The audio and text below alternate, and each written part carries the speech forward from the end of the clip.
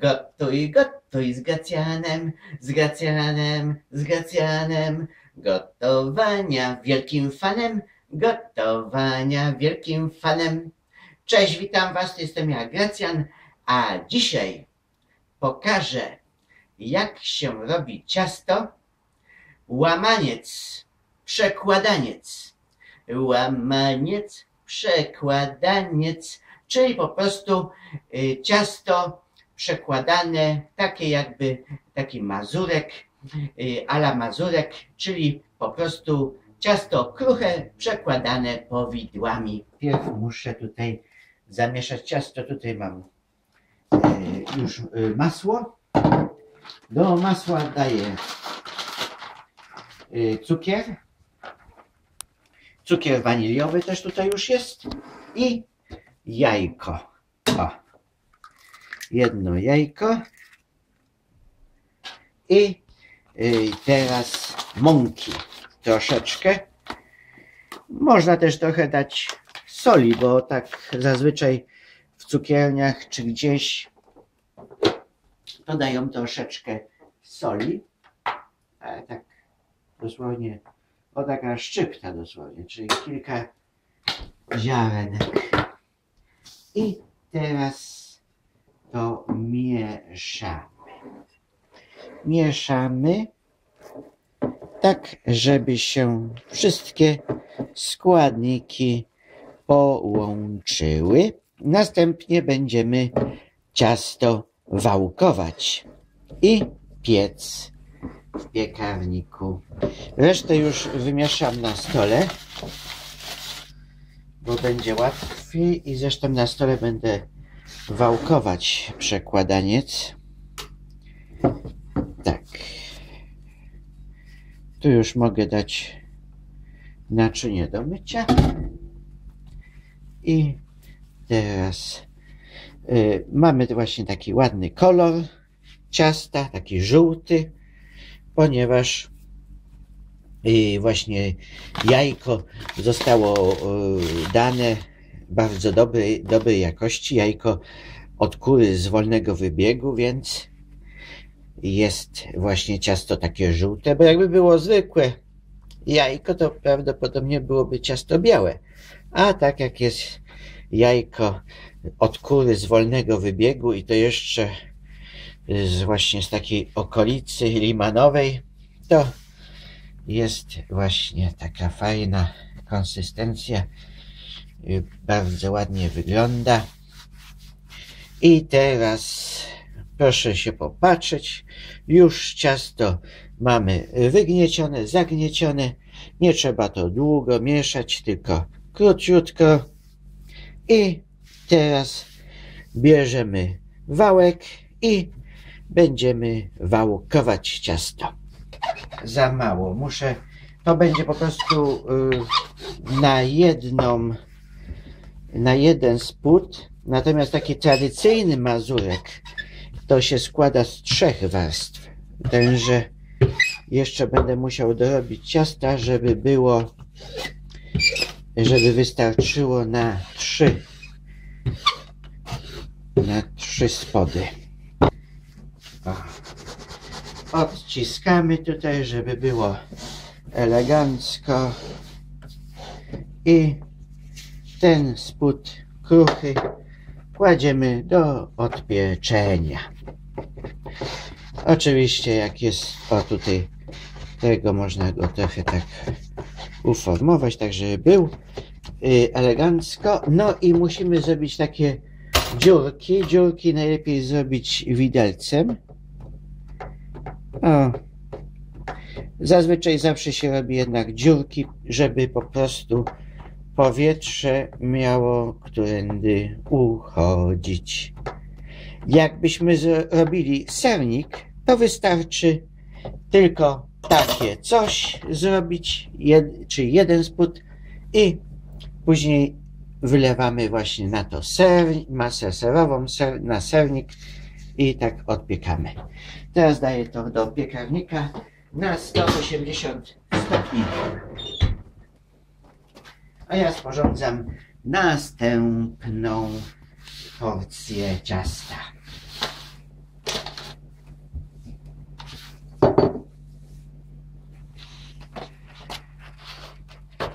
Okej.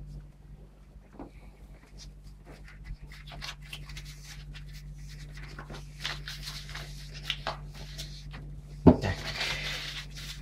Okay. że cała kostka masła jednak wyjdzie. I teraz dajemy znowu cukier. Nie dużo, ponieważ powidła będą słodkie, więc nie potrzeba dużo dawać cukru. I jajko. I jeszcze y, cukier waniliowy. No i oczywiście można też troszeczkę dodać y, oprócz cukru waniliowego do ciasta kruchego troszeczkę dajemy zawsze y, proszku do pieczenia, ponieważ jest bardziej pulchne, ale proszek do, do, do pieczenia to dosłownie taką bierzemy szczyp, szczyptę. O, taką szczyptę. Wystarczy. I, i jajko. Także symbolicznie dajemy proszku do pieczenia. Możemy znowu dodać też i kilka ziarenek soli i znowu mieszamy.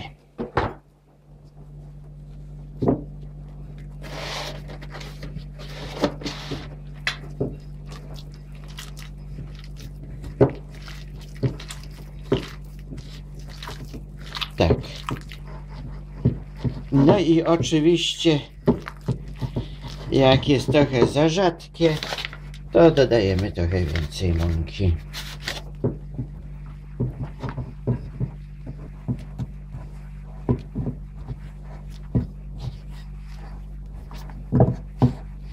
Tak więc, że zawsze po prostu przed składaniem ciasto kruche zawsze trzeba podpiec. Tenże cała mąka wyszła i elegancka jest. Także z tego teraz będę wałkować, z tego będę wałkować dwa, czyli dzielę na dwie części to ciasto. Jedna część, druga część. Prawie gotowe. O, mogę teraz spokojnie sobie poczekać, aż się odpiecze pierwsze ciasto i zaraz będziemy wałkować. Jak tylko wyjdzie tamto ciasto, wywałkujemy następne. I proszę się popatrzeć.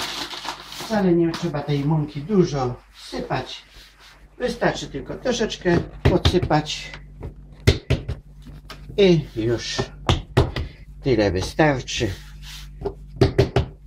Tak więc, że nie trzeba tej mąki dużo stosować i wałkujemy.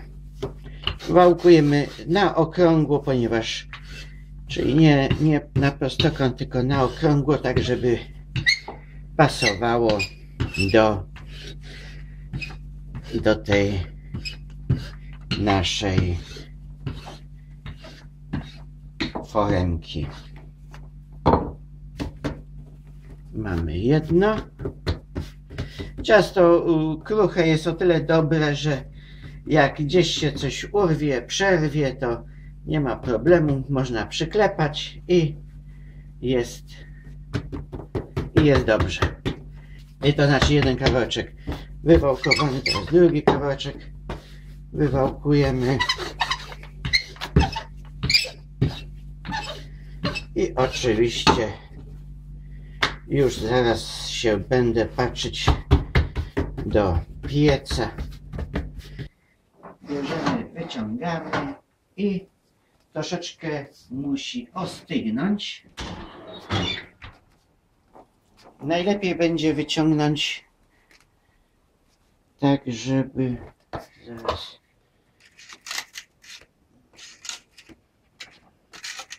dobrze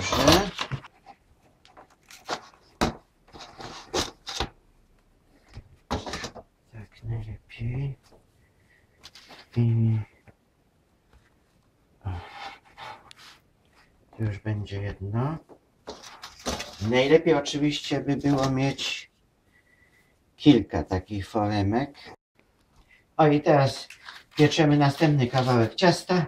Ten kawałek ciasta mamy już upieczony i będę go smarować powidłami, ale muszę jeszcze od- odpiec następne dwa kawałki ciasta, więc tutaj z powrotem biorę brytwannę, smaruję ją elegancko olejem albo masłem, albo margaryną, obojętnie jakim tłuszczem, tak żeby po prostu było nie przylepione. I teraz do środka daję właśnie ciasto. Tutaj możemy po prostu tak położyć i uformować, już się nie bawić jakieś tam wycinania i tegowania, tylko tak uformować odpowiednio i ciasto będzie dobre. Tenże możemy już wkładać do piekarnika. Jeszcze tylko kilka dziurek zrobię.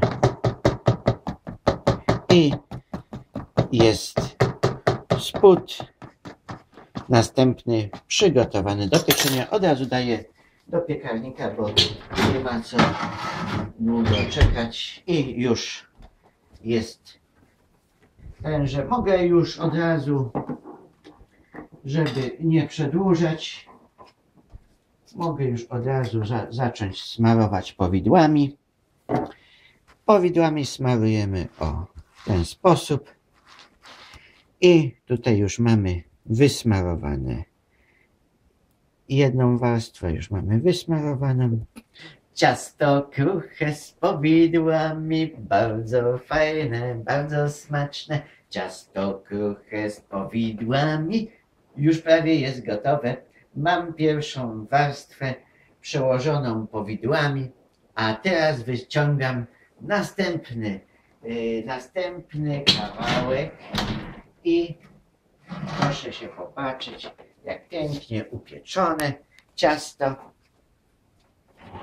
I teraz mogę je wyciągnąć elegancko z tortownicy i włożyć następny kawałek ciasta znowu do odpieczenia. O.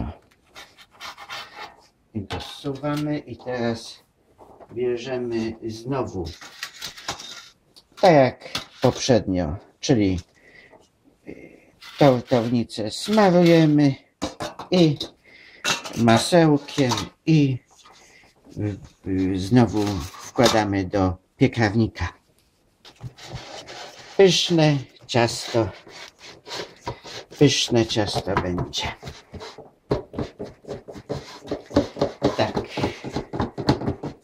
I znowu musimy zrobić kilka dziurek. Dookoła robimy te dziurki o we wszystkich miejscach, tak żeby nie, ciasto się nie podnosiło do góry, tylko powietrze, żeby miało którędy uchodzić i znowu wkładamy do pieca na 180 stopni i pieczemy. Ten kawałek ciasta, jak tylko troszeczkę ostygnie, właściwie już prawie, że ostygł, dajemy, przykrywamy. O. I czekamy na następny kawałek. A tutaj już oczywiście możemy już znowu dać powidła na górę. Powidła, powidła pyszne. Powidła, powidła doskonałe. Bardzo smaczne. Z ciastem kruchym. Bardzo pyszne. O, tak. A to będzie właśnie ciasto kruche z powidłami. Pyszne, przepyszne, słodziutkie, ale nie za słodkie, bo powidła są nie takie znowu słodkie, bo śliwki są troszeczkę kwaskowate. Wyciągamy ostatnią, yy, ostatnią warstwę. Tak wyciągamy. Jest. Ostatnia warstwa jest upieczona. I teraz, żeby sprawy y, długo nie przeciągać, to my po prostu możemy zrobić taki omik, że tak dać, o, i po prostu mamy już złożony placek i na chwilkę, żeby ta marmolada się trochę zapiekła, znowu wkładamy do piekarnika i znowu czekamy tak około 10 minut i będziemy mieli ciasto gotowe. Przekładaniec, łamaniec już jest upieczony. Tutaj w tym piekarniku upiekło się ciasto. Ciasto kruche, przekładane powidłami. Tak więc, że teraz wyciągam to ciasto i tutaj je kładę do ostygnięcia. Tak więc, że piękne ciasto już jest zrobione. Ono y, może być polane na przykład lukrem, może być polane czekoladą, może być posypane cukrem pudrem, może też być yy, zrobiona na górze kruszonka albo różne inne sposoby jeszcze dekoracji, ale ja to ciasto po prostu takie ciasto będę jadł, niczym nie zdobione, tylko po prostu takie ciasto kruche, bardzo smaczne, pyszne, polecam każdemu, bardzo ładne, ale oczywiście możemy na przykład, jak ktoś ma imieniny, urodziny, albo jakąś inną okazję, na przykład jubileusz, albo jakieś, no nie wiem, rocznica ślubu, rocznica jakaś jeszcze inna, możemy tutaj y, na to y, przyozdobić to na przykład jakimś kremem i powbijać świeczki. Już mamy tort gotowy właśnie na taką uroczystość. Także y, na razie niech ostygnie. Takiego gorącego ciasta na razie nie polecam jeść. Niech ono sobie ostygnie, a ja jak już będzie porządnie ostygnięte, przez noc sobie ostygnie i rano sobie skosztuję, jak to ciasto smakuje. Gotuj, gotuj z Gracjanem, z Gracjanem, z Gracjanem, gotowania wielkim fanem, gotowania wielkim fanem, o tak. A dzisiaj jest już rano, więc mogę spróbować właśnie to ciasto, które wczoraj upiekłem wieczorem. Y, tutaj właśnie mam to ciasto, piękny kawałek. Tutaj jest właśnie cały ten kawałek. Z tego kawałka wykroiłem. Oczywiście y, też i wcześniej już ktoś sobie zjadł, ponieważ no, to ciasto by musiało mieć rogi i pazury, żeby nie mogło być zjedzone, ponieważ jest przepyszne. A ja tutaj właśnie mam ten swój kawałek, pięknie ukrojony. Z zewnątrz trochę posypałem cukrem, pudrem. Proszę się popatrzeć, jak to pięknie wygląda. I teraz spróbuję, jak to ciasto smakuje. To jest właśnie ciasto kruche, przekładane powidłami, czyli y, właśnie taki jakby mazurek czyli przekładaniec, łamaniec. I teraz właśnie spróbuję, jak smakuje ten przekładaniec, łamaniec. Mmm.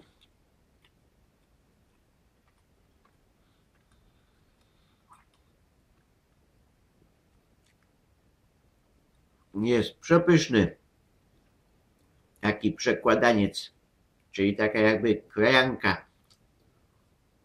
Mm.